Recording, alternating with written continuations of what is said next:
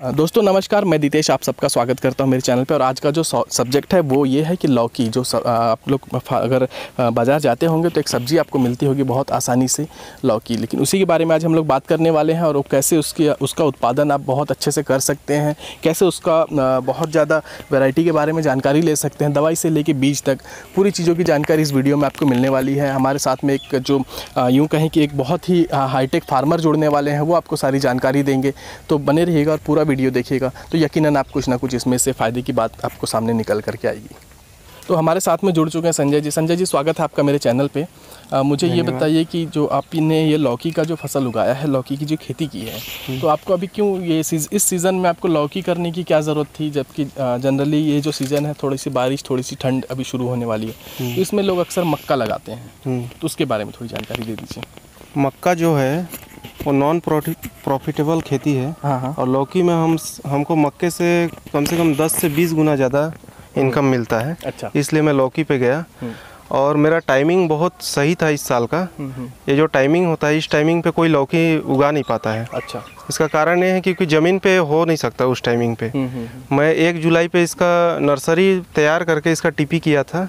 आ, ये और क्या होता उसको ट्रांसप्लांट किया था इसको, इसको मतलब इसको खेत पे लगाया था नर्सरी करके कोकोबीट से। अच्छा। और उसके बाद जो मेरा माल निकलना चालू हुआ आज अगस्त लास्ट से चालू हो गया था हम्म, हम्म। और 30 से बत्तीस रुपए किलो बिकना चालू हुआ है हम्म। पहला पिकिंग मेरा। आपकी जो लौकी है हाँ। मुझे लगता है एक बहुत अच्छा और, रेट मिला आपको। और मात्र आधा एकड़ में मेरा लौकी लगा है और पहला तोड़ाई ही मैं करीब 30 से बत्तीस कुंटल तोड़ा था एक बार में। बहुत अच्छी बात है। हाँ, अस्सी नब्बे पे आपने लगाया है? सिर्फ़ मैं आधा एकड़ में लौकी लगाया आधा एकड़ में लौकी लगाया और इसकी लागत कितनी लगी होगी उसके बारे में थोड़ा सा इसका लागत खूटा वगैरह सब करके तीस से चालीस हज़ार रुपये लाग, लागत लगा है मल्चिंग वगैरह बिछा के। हम्म, हम्म।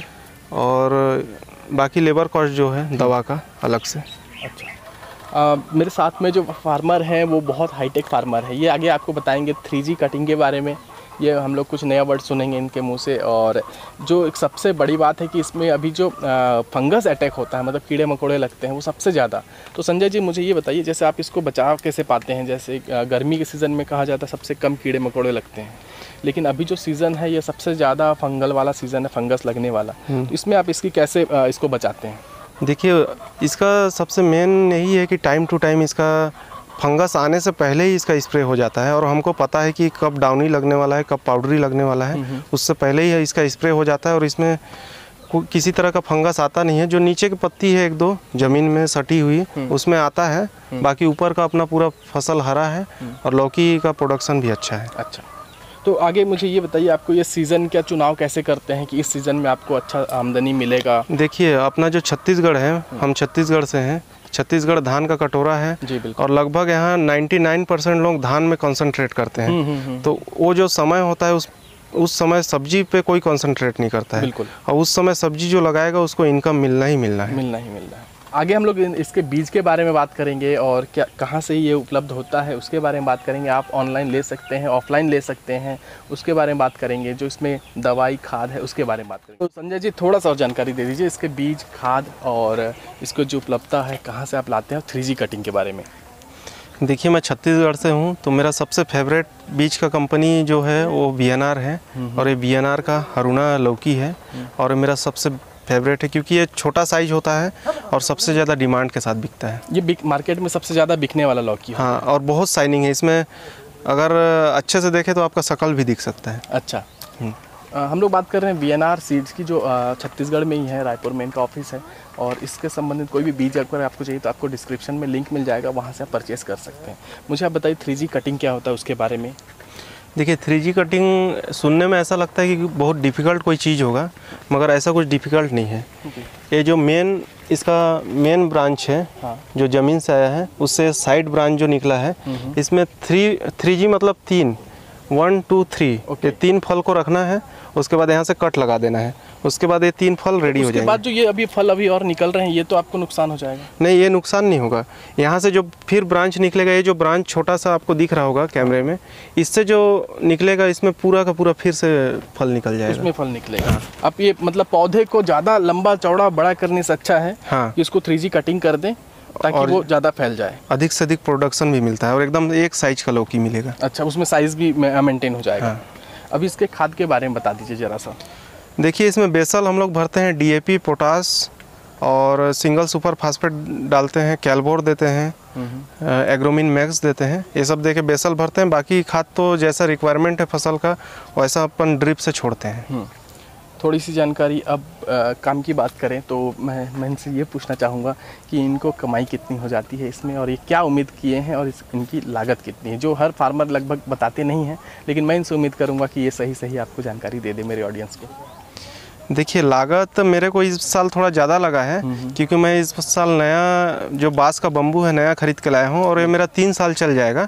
तो फिर भी मैं इसको जोड़ के मेरे को पचास हज़ार रुपये खर्च आया है मल्चिंग वगैरह सब मिला के एकड़ में। और इसमें मेरे को लगता है लास्ट तक इसमें पाँच से छः लाख रुपया प्रोडक्शन हो जाएगा बेच के। आमदनी लगभग उतनी हो जाएगी। हो जाएगा एकड़ में। तो जो लोग बहाना करते हैं, मुझे लगता है उनको भी ये वीडियो देखनी चाहिए और इनसे कुछ सीखना चाहिए। बहुत लोग ये कहते हैं कि यह नंबर दीजिए, मुझे खेती करनी है, मुझे भी इसकी जानकारी चाहिए। पॉसिबल नहीं होता नंबर देना, क्योंकि कई बार होता है, आप आंध्रा से हैं, गुजरात से हैं, राजस्थान से हैं, क्योंकि ये जो एटमॉस्फेयर है, ये सिर्फ़ अभी छत्तीसगढ़ में है। अगर ये मैच नहीं करेगा तो हो सकता है कि आपके प्रोडक्शन में डिफ़र आए। ऐसा है क्या? हाँ बिल्कुल। अगर वो छत्तीसगढ़ में जो मौसम है उसके हिसाब से ये लौकी अभी सूटेबल है। ये कब लगाए हैं आप? वो ज़रा जानकारी दे दीजिए। ये मैं एक जुलाई को हम्म। नर्सरी तैयार करके इसको लग संजय जी मुझे ये बताइए कि इसमें कुछ बाँस जैसे कुछ दिख रहा है बाँस जो कच्चा बाँस है वो। हम्म। कुछ मुझे वायर दिख रहे हैं तार। हम्म। और नीचे में अगर हम लोग देखें तो उसमें कुछ प्लास्टिक जैसा दिख रहा है जिससे शायद आप मल्चिंग कहते हैं। ये क्या हुआ वो बता दीजिए थोड़ा।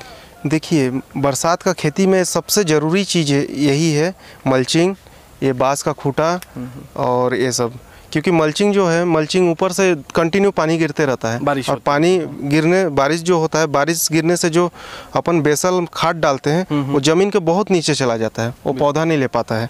और मल्चिंग से ढका हुआ है तो इसमें पानी का कोई प्रभाव नहीं रहेगा और हम्म। खाद अपने जगह में रहेगा और पौधा अपने ज़रूरत के हिसाब से लेते रहता है। जड़ में ही खाद मिलेगा। जड़ में ही खाद मिलेगा। और ये जो और दूसरा सबसे फ़ायदा है कि इसमें घास नहीं उगते हैं कोई भी क्योंकि जहाँ लौकी का पौधा है वहीं पे छेदा किया हुआ है। अच्छा सिर्फ़ छेद वही है जहाँ पे आपने पौधा लगाया है। जहाँ पौधा लगाया है वहीं पे छेद है। वहीं पे छेद बाकी और कहीं छेद नहीं है। ये तकनीक आपको कहाँ से जानकारी मिली? और ये, ये मल्चिंग जो बोला जाता है ये कहाँ उपलब्ध होगा? उसके बारे में थोड़ी सी जानकारी दीजिए। ये मल्चिंग का लिंक डिस्क्रिप्शन में मिल जाएगा। बिल्कुल। कहाँ से लेना है क्या करना है। आ, मुझे लगता है जो भी आपको दवाई बीज खाद और मल्चिंग वायर्स जितनी सारी चीज़ें चाहिए सबका डिस्क्रिप्शन में आपको लिंक मिल जाएगा। ऑनलाइन सब अवेलेबल है। या हम्म। फिर आपके आसपास के जो दुकानदार हैं उनसे भी आप ले सकते हैं। हम्म। तो थ्री जी कटिंग की बात हो गई लगाने की विधि की बात हो गई मल्चिंग की बात कर ली हमने, लगभग सारी बातें हो गई हैं। अब मुझे ये बताइए, लौकी का जो वज़न है, वो लगभग कितना आता है? एक हैंडसम लौकी जो तैयार हो जाने के बाद उसका वज़न कितना आता है? देखिए, ये लौकी का वज़न अभी तीन से चार सौ ग्राम का है। हम्म, हम्म। और जैसे ही साढ़े सात सौ ग्राम का होगा तब इसको काट लेंगे या तो एक किलो हाईएस्ट होगा तब काट लेंगे। ये कितने दिन में आ जाएगा जैसे और अभी मार्केट के भाव के हिसाब से एक लौकी तीस रुपए का बिक रहा है। बहुत शानदार तीस रुपए इसका होलसेल रेट है। मुझे लगता है आपके चेहरे की हँसी बता रही है कि आप बहुत अच्छा आमदनी कर चुके हैं इस लौकी से। और ये कितने दिनों का है? जैसे एक छोटा लौकी हम लोग देखें। ये जो छोटा लौकी हाँ, है ये कितने दिन ये में तीन से चार दिन में इस साइज़ का हो जाएगा। और उसके बाद वो दो दिन में और एक किलो हो जाएगा। ये फुल हो जाएगा। एक किलो का साइज़ हो जाएगा। आप उसको काट करके बाज़ार में उपलब्ध करा देंगे। जी बिल्कुल। बहुत बहुत धन्यवाद आपका। इतनी सारी जानकारी मुझे एक ही वीडियो में मिल गई। मैं आपका आभारी हूँ। मुझे आपसे थोड़ी सी हेल्प ये चाहिए कि आप जो इसको सेल करते हैं। तो आपको ये नगद में बिकता है या उधार में बिकता ये है या पूरी भेजना होता है ये पूरा का पूरा नगद में बिकता है। इस समय मार्केट में सब्ज़ी का इतना क्राइसिस है कि लोग आके मुझे मस्का लगा के मेरे हम्म, हम्म। खेत से लेके जाते हैं। इस समय सबसे बड़ी बात जो मेरे फार्मर मेरे साथ में है टाइमिंग की। क्वालिटी ये है ये टाइमिंग मैच करते हैं। जो ऑफ़ सीज़न फ़ार्मिंग होती है ना ऑफ़ सीज़न यानी कि अभी धान का समय है तो कुछ और लगा दो। तो इसके लिए ये माहिर हैं बिल्कुल इनसे आप एडवाइस ले सकते हैं। मैं कोशिश करूँगा इन इनसे परमिशन लेके इनका नंबर डालने की। और बहुत बहुत धन्यवाद आपका बहुत अच्छा लगा आपसे बातें करके मिल के बहुत सारी जानकारी हमें इकट्ठा हुई। दोस्तों वीडियो पसंद आया होगा तो लाइक करिएगा चैनल पर नए होंगे तो सब्सक्राइब करिएगा। पसंद आया तो प्लीज़ कमेंट करके बताइए। मिलते हैं अगले वीडियो में तब तक के लिए जय हिंद वंदे मातरम।